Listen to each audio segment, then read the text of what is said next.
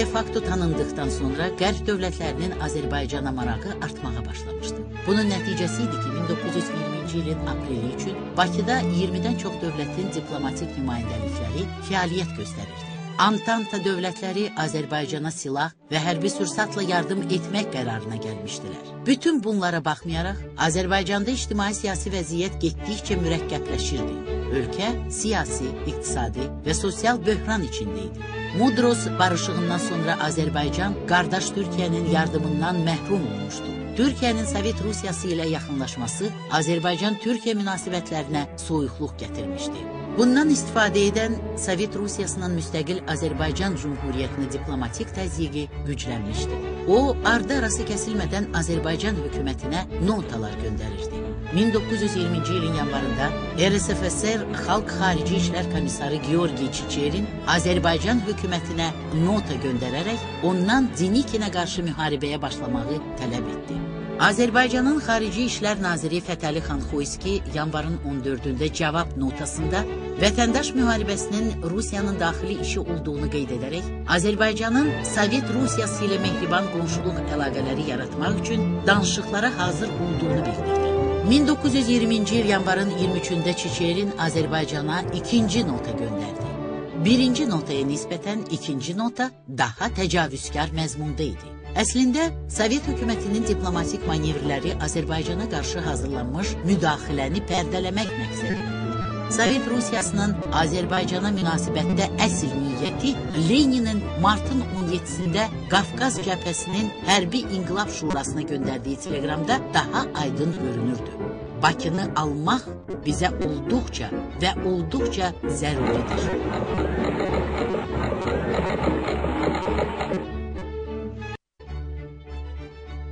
Beynəlxalq şəraiti nəzərə alaraq birbaşa hərbi müdaxilə etməyə cəsarət etməyən Sovet Rusiyası Azərbaycanın daxilində çevriliş edə biləcək qüvvələr formalaşdırdı. Onun xeyirduası ilə 1920-ci ilin fevralında müstəqil Azərbaycan Kommunist Partiyasının yaradılması bu məqsədə xidmət edirdi. Eyni zamanda daxildə siyasi partiyalar və parlament fraksiyaları arasında qarşı durmalar da güclənirdi. Bu çəkişmələrin bir qütbündə Musavat Partiyası, digər qütbündə İttihadçılar dururdu.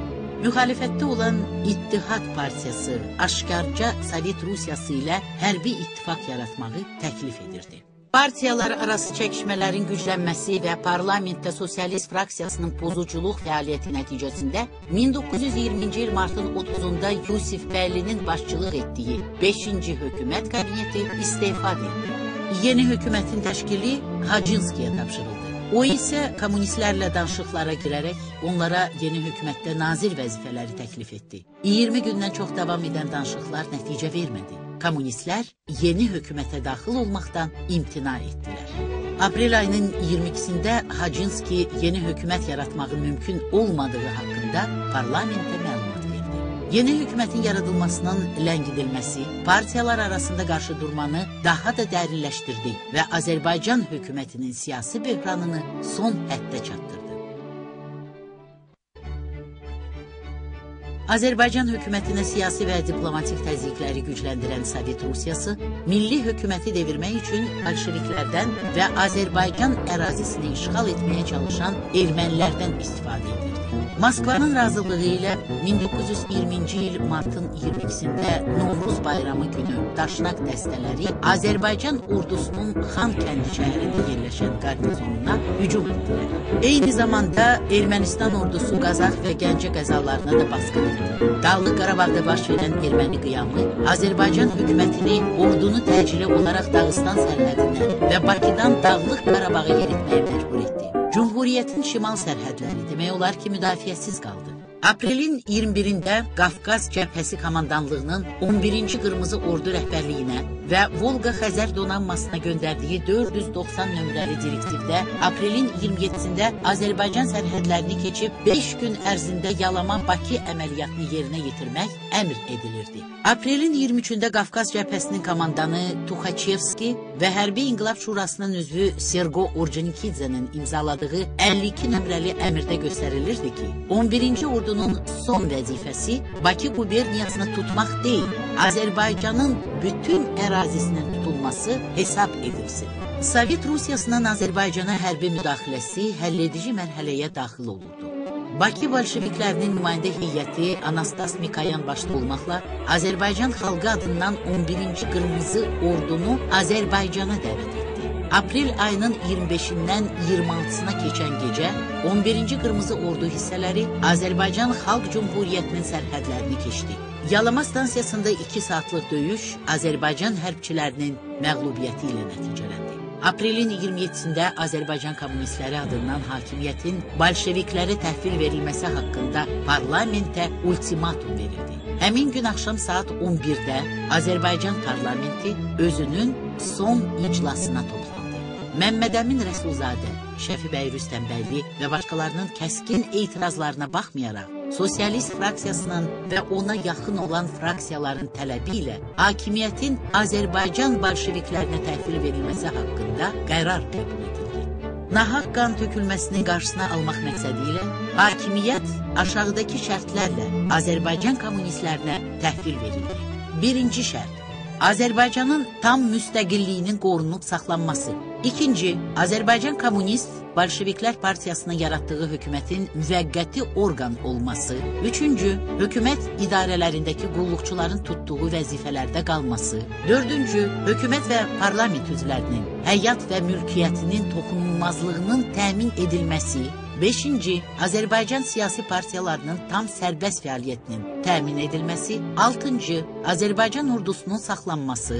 Yeddinci, Rus ordusunun Bakı şəhərinə daxil olmadan dəmir yolu ilə Türkiyənin köməyinə getməsi.